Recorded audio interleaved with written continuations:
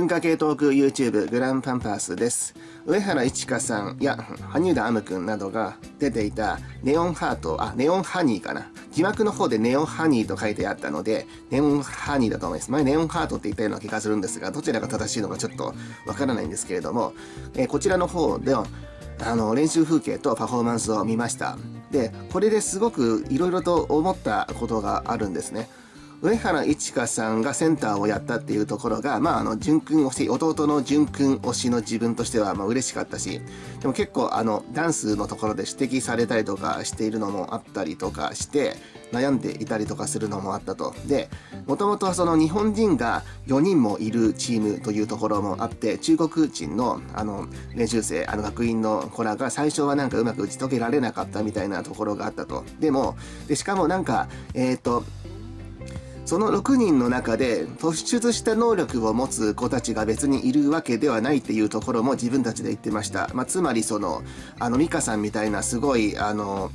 歌唱力を持っている人もいるわけではなく、あの、サンタさんとか力丸さんみたいなダンス能力とかいうところでもなく、で、中国人の学院の人たちにもいっぱいいますけれども、まあ、能力高い人たちは結構多いわけですけれど、まあ、そんな中でチーム力を高めるっていうところをすごくあの重視していてでしかもうまく機能していたっていうところがありましたよね。あの羽生田アム君があの結構もともと明るい性格でコミュニケーションが好きだっていうところがありそれであの自分から率先してそのもともとちょっとコミュニケーションがうまく取れていなかった中国人2人にあのうまくあの言葉をかけたりとかして、で、全体的にチームを引っ張っていくっていうところがあったと。で、みんなで選んだセンターの、あの、上原一華さんを、あの、みんなで支えるっていうところだったりとか、あの、モンスターチームが見学に来た時に誰がセンターなのって言われたりとかするところもあって、あの、ニコニコはしていたけれども、実際はなかなか、あの、メンタル的にもしかしたらきつかったかもしれないなっていうところもあり、でもそこも、あの、乗り越えてね、あの、チームでやっていくっていうところ。で、佐藤栄翔くんが、えっと、まあ、18歳だけれどもっていうね、でもリーダーをやるっていうところで、自分自身の問題も、その、ありながら、あの、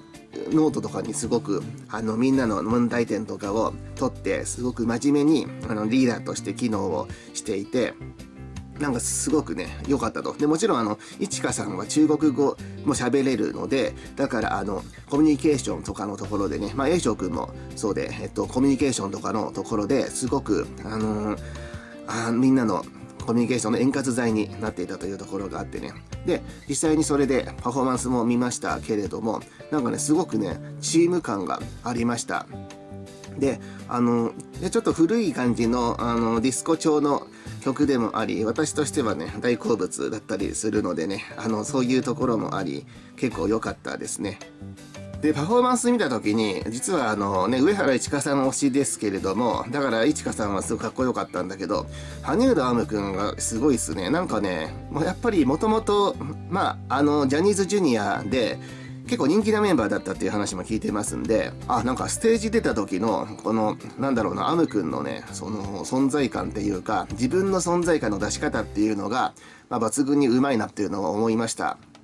一番最初に吉川浩司さんの「モニカ」でがっつりと踊ったり踊って歌ったところがあってまさか令和に入ってモニカが聴けるなんて思っていなかったよっていう人もねいましたけれどもいやアムくんいいっすねちょっと思いました。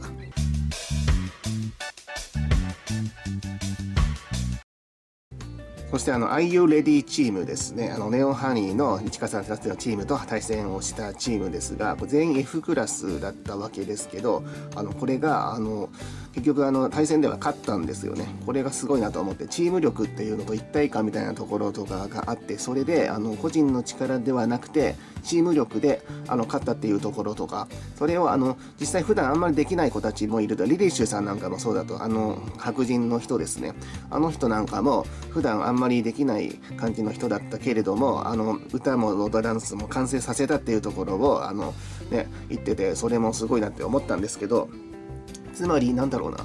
えっと、しかもリリッシュさんはなんか結構もともとこのオーディションに参加したことをちょっと後悔してるみたいなことも普通に言ったりとかしてあそれ普通に放送で流すんだなって思ったんですがでも結果あのチームのみんな頑張ってるから自分も頑張りたいっていうところになって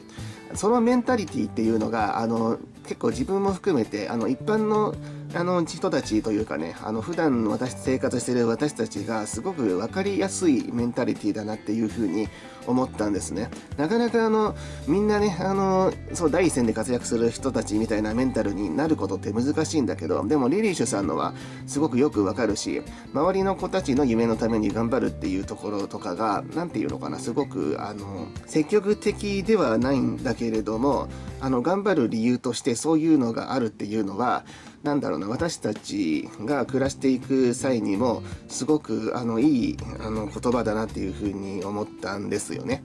コミュニケーションも苦手で表情も硬かったりとかしてでもなんかあのそういうところとかもすごくあの、まあ、自分なんかにもねなんかすごく似てるなっていうところがあって似てるといっても私はあの彼ほどかっこよくはないですけれどもそういうところも含めていろいろと思うところがありました。いちかさんたちの方のね、あのネオンハニーチームにしても、あの IU レディチームにしても、あのみんなすごい突出したパフォーマンスができる人たちっていうわけではなかったんだけれど、なんだろうな、ボーイズグループというチームでやる、グループでやるっていうところの、そういう素晴らしさというか、そういったところを改めて思わせてくれたっていうか、すごい興味深い対戦でしたね。で、しかも全員 F クラスで、あのあんまり期待もみんなされていなかった人たちの方が対戦で勝つっていうねバトルで勝つっていうところも含めてすごいいいなって思いました。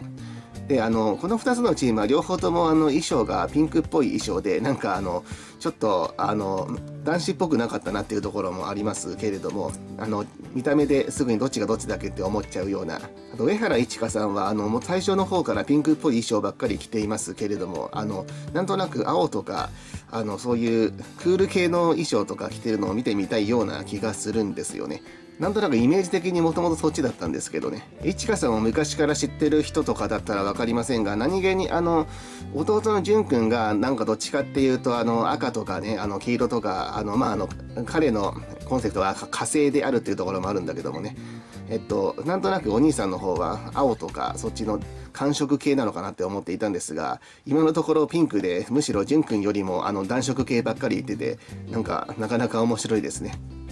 はい。というわけで、今回はね、あの、いちかさんたちのチームと Are You Ready チームに関して、あの、話させていただきました。WeTV の方がなんかね、私の PC が変だったのが、あの、なんか翻訳機能がおかしかったのか、字幕がしばらく出なくなっちゃって、あの、話すのが遅れちゃいました。ね、もうすでにこれ火曜日なんでね。なので、こんな感じで語らせてもらいまして、あの、他のところもね、できる限り語っていこうと思います。まあ、感想的な感じになりますけどね。はい。